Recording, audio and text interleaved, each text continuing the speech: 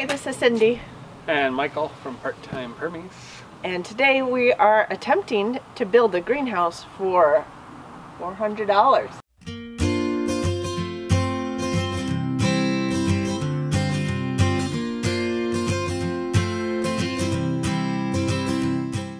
Yeah, target budget is $400 uh, and we think we're going to be really close on it. Um, so we've got a bunch of things that we learned.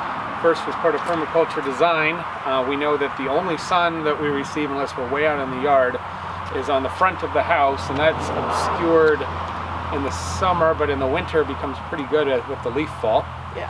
Uh, we are looking, as we've mentioned before, at removing some trees over time and so during the summer we started thinking about how we could do a, a, front greenhouse instead of a back greenhouse. So the goals are permaculture design zone one or zone zero is your house. Yep. So cold weather, early spring bed weather, we can get right to it. And then we have a space that can passively heat and increase our efficiency on our house slightly.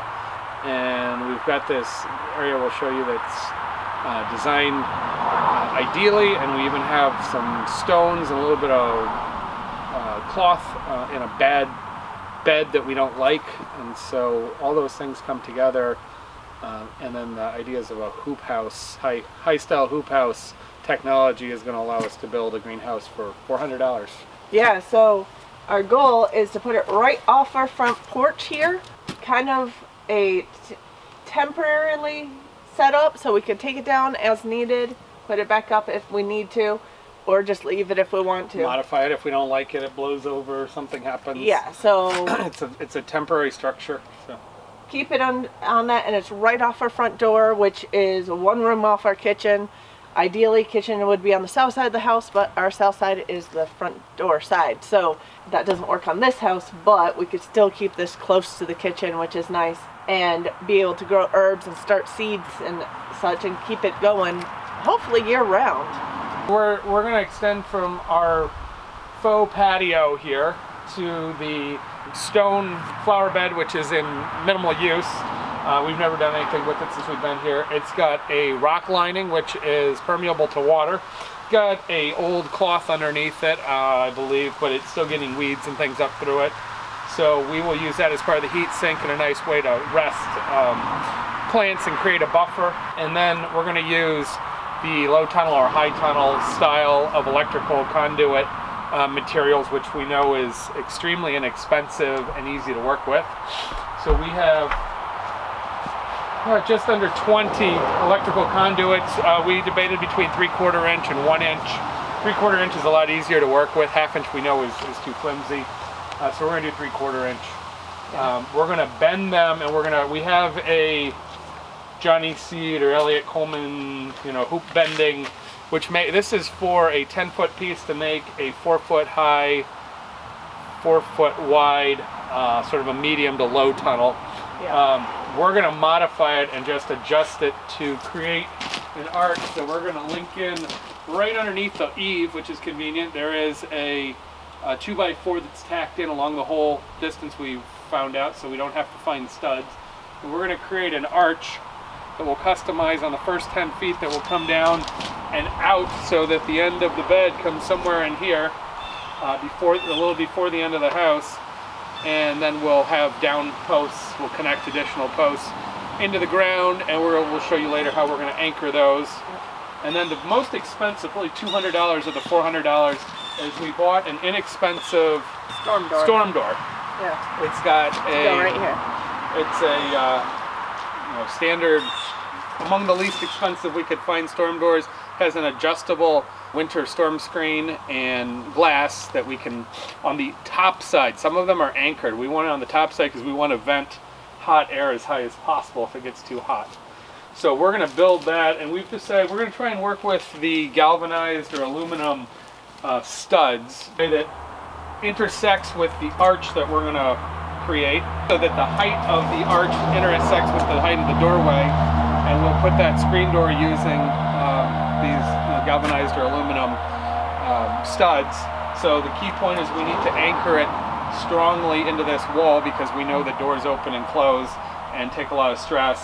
And then we'll probably put a couple of Tapcon concrete screws in over here, and then we're gonna have to create a bracing, and we're gonna have to wing that a little bit. We've, we're, we know what we wanna do, but we're gonna have to make that work so that we have a storm door. Now that storm door will create some ventilation, but it's also gonna allow a pass through for anybody that needs to use this door. Yeah. And uh, we tend to get quite a few delivery packages which end up all over the place. So this will be a nice way that they can slide them in here out of the weather. And then we're going to coat everything, of course, with probably 5 mil plastic. And we tend not to use the greenhouse specific plastic. Uh, you can get ones that are UV rated and all kinds Yeah. of things for long. But we find that the standard plastic works pretty well. Like drop cloths Drop- painting. but you want the thicker ones so they Yeah. don't shred. Uh, and they can be changed after a few years if they fade or get torn.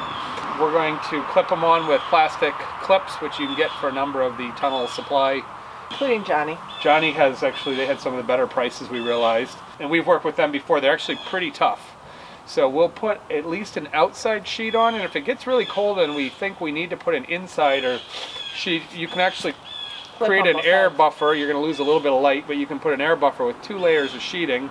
Now, usually with passive greenhouses, you're concerned about maintaining heat in the winter because the higher the tunnel, the more space the ground has to uh, maintain uh, heat through the night.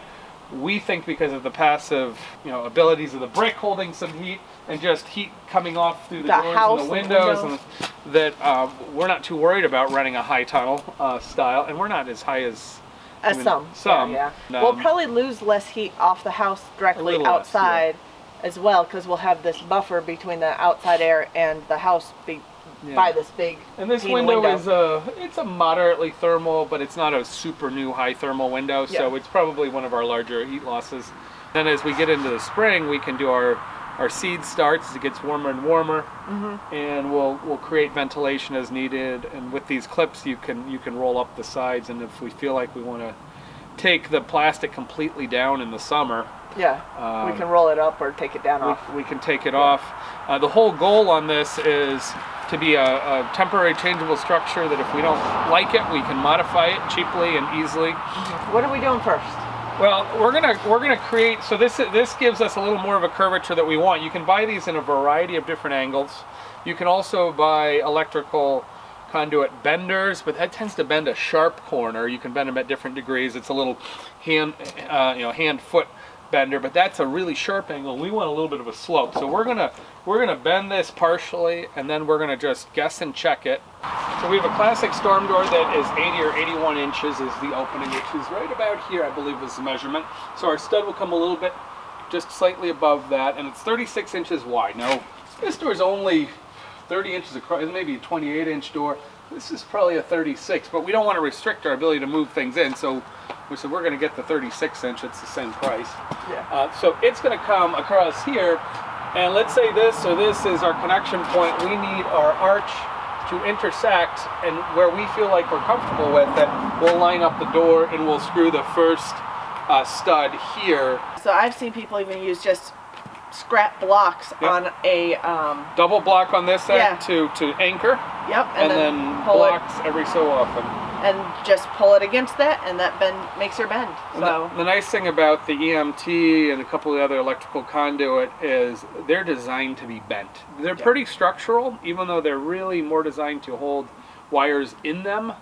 Um, they're all weather, they're galvanized, they don't rust, and um, while they carry quite a bit of structural content, they're bendable and don't collapse. But they are designed for this, these curves. Um, by the nature of their primary use, which we all know is perfect for greenhouse and uh, tunnel building. Now, if you don't buy one of these, which is I don't know, thirty or forty dollars, it's probably overpriced, but we found it pretty effective. We've used it quite a bit. Uh, it comes with just a designed arch, and it has a pole that intersects with a few different sizes of conduit, which gives you leverage pulling it around. And then there are connectors. So there's a variety of connectors um, for intersecting and for spreading them out, but because lines of, of wire typically run through them, they're all hollow, they don't have good end connectors because they were not built for structural.